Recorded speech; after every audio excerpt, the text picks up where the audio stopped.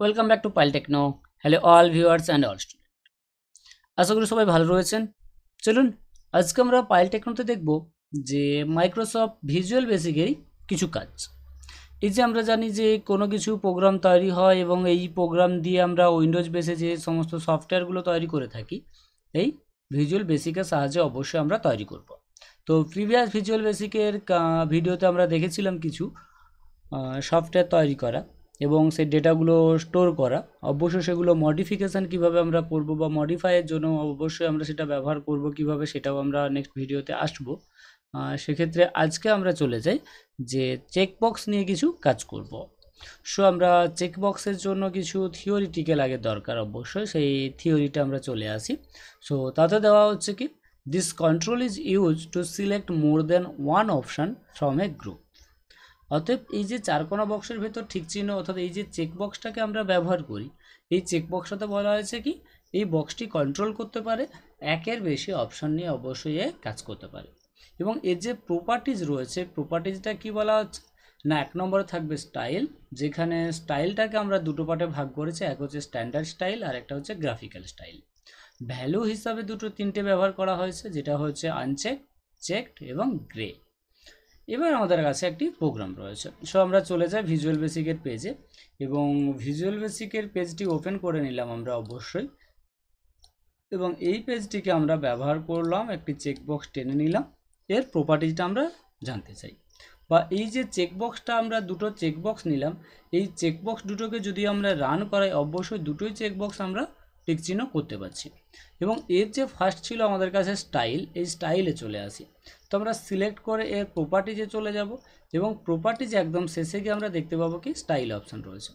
তো নর্মালি এদের সবসময়ের জন্যই অবশ্যই স্ট্যান্ডার্ড স্টাইল করা হয়ে থাকে। এর যদি গ্রাফিক্যাল স্টাইল করে নিই, তাহলে সেক্ষেত্রে আমরা দেখতে পাবো কমন বাটনের মতো হয়ে গেছে। সো এটাকেও সেমভাবে চাইলে আমরা স্টাইলটা চেঞ্জ করতেই পারি। তাহলে কমন বক্স কাজ হয়ে যাবে। অর্থাৎ যদি এর ওপর রান করায় অটোমেটিক কাজ করবে, বোঝাবে। এছাড়া আর কিছু না। সো আমরা চাইলে এটাকে করতেই পারি। এছাড়া আর কি করতে পারি না, ওটা যেমন স্ট্যান্ডার্ড স্টাইল থাকে, অবশ্যই আমরা স্ট্যান্ডার্ড স্টাইল রাখতে পারি। তাহলে আমাদের কাছে বোঝায় কি? না, এটি চেকবক্স এবং এই চেকবক্স আমরা কিসের জন্য ব্যবহার করতে পারি?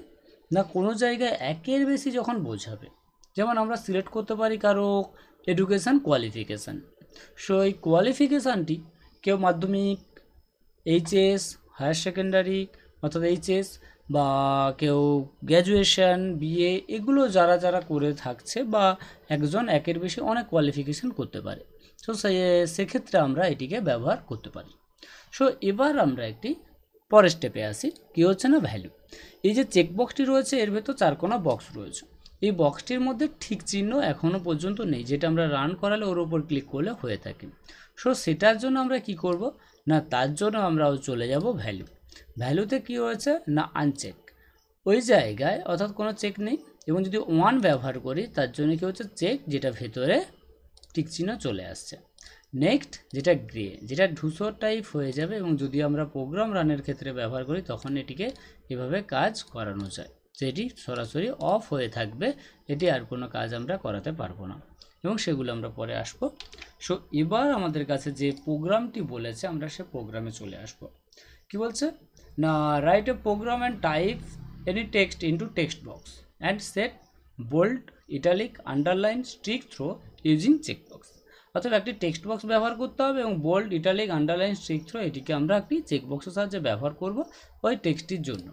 সো আমরা তার জন্য একটি টেক্সট বক্স অবশ্যই টেনে নিলাম এবং তার চার ধারে আমরা কী করলাম এবং আমরা চাইলে এক ধারে ইউজ করতে পারি। যে এখানে ইউজ করলাম আমরা বোল্ড এবং পরেরটাতে চলে গেলাম ইটালিক। এবং তারপরে একটি চেকবক্স নিয়ে নিলাম আন্ডারলাইন। এবং আর একটি চেকবক্স নিয়ে নিলাম যেটাতে ইউজ করলাম আমরা স্ট্রিক থ্রো। তো এক্ষেত্রে আমরা এবার যদি সাইজ বড় করতে চাই, অবশ্যই এটিকে সিলেক্ট করে নেব এবং সিলেক্ট করে ফন্ট অপশানে চলে যাব এবং ফন্ট থেকে অবশ্যই আমরা সাইজ বড় করে নিতে পারি। তো আমরা সাইজ বড় করে নিলাম ফন্ট থেকে। এবার আমাদের কাছে কাজ করতে হবে। কি কাজ? না, যদি আমরা বোল্ড করি, অর্থাৎ ওই যে টেক্সটটি রয়েছে টেক্সট বক্স রয়েছে, সেই টেক্সট বক্সে কাজ হবে এবং বোল্ডের ওপর কন্ডিশন তো সেক্ষেত্রে আমরা এর আগে ভ্যালুতে কি জানলাম? যে ভ্যালু যদি ওয়ান হয়, তবেই সেটি চেক হবে। তার জন্য আমরা কন্ডিশন লিখব ইফ চেক যেহেতু এক নম্বর বক্স তাই আমরা লিখব চেক ওয়ান ডট ভ্যালু সমান ওয়ান দেন অর্থাৎ যদি চেক বক্স ওয়ানের ভ্যালুটা ওয়ান হয়ে যায়, তখন কি করবে? না text one dot font font bold যেহেতু বোল্ডের কাজ করছি, সেটি ট্রু এলস অথবা কি হবে? Text one dot font bold সমান ফলস ইফ শুরু করেছিলাম, তার জন্য আমরা শুরু করব, এই সরি শেষ করব এন্ড ইফ সো আমরা সেকেন্ড ক্লোজ করলাম, আবার চলে এলাম ইটালিকে। তো ইটালিক সেমভাবে কাজ করবে। If check two dot value সমান ওয়ান দেন সেম আমরা টেক্সট ওয়ানে কাজ করছি। তো আমরা সেক্ষেত্রে ব্যবহার করলাম ফন্ট ইটালিক সমান, অর্থাৎ একটি পার্ট ট্রু হবে, আর একটি পার্ট থাকবে ফলস দিয়ে দিলাম, এবং নেক্সট আমরা অবশ্যই এন্ডিপ করব। এবং সেমভাবে আমরা চলে যাই আন্ডারলাইন সো আন্ডারলাইন কত নম্বর চেক বক্স হচ্ছে আমাদের কাছে? চেক থ্রি তাই চেক থ্রি ডট ভ্যালু সমান ওয়ান দেন সেম আমরা টেক্সট ওয়ান বক্সেরই কাজ করছি। ফন্ট আন্ডারলাইন সমান ট্রু এবং এলস পাতে আমরা দিলাম text one dot font underline সমান ফলস এবং এন্ডিফ তো নেক্সট আমরা চলে যাই স্ট্রিক থ্রোর মধ্যে। তো তাতেও সেমভাবে আমরা কত নম্বর চেক বক্স না চার নম্বর? তাই check one check four dot value সমান ওয়ান দেন এবং কত number check box sorry text box না এক নম্বর। তো তার জন্য স্ট্রিক থ্রু সমান true else text one dot font strike through সমান ফলস এন্ড ইফ সো আমরা প্রোগ্রামটিকে পুরোটা করে ফেললাম এবং এবার আমরা প্রোগ্রামটিকে রান করি সো রান করাতে গেলে এই যে আমরা ফর্মটা ফার্স্ট যখন ওপেন করি এবং টেনে বড় করেছি বলে এই অবস্থা থাকছে, আমরা চাচ্ছি যে ফর্মটি অটোমেটিক শো করানোর সঙ্গে সঙ্গে যেন পুরো ডেস্কটপ জুড়ে হয়ে যায়। এমন জিনিসটি চাইলে আমরা ব্যবহার করতে পারি। তার জন্য ওই যে ফর্ম থাকছে, ওই ফর্ম থাকবে এবং আমরা প্রপার্টিজে চলে যাব একদম উইন্ডোজ স্ট্যাটাস স্ট্যাটাসে বলছে কি নর্মাল মিনিমাইজ এবং ম্যাক্সিমাইজ সো আমরা ইউজ করলাম ম্যাক্সিমাইজ তো ম্যাক্সিমাইজ ইউজ করলে আমরা পুরো ডেস্কটপ জুড়ে পেজটি পেয়ে যাব। তো পেয়ে গেলাম এবং আমরা টেক্সট বক্সে হয়তো আমরা লিখলাম কিছু নাম।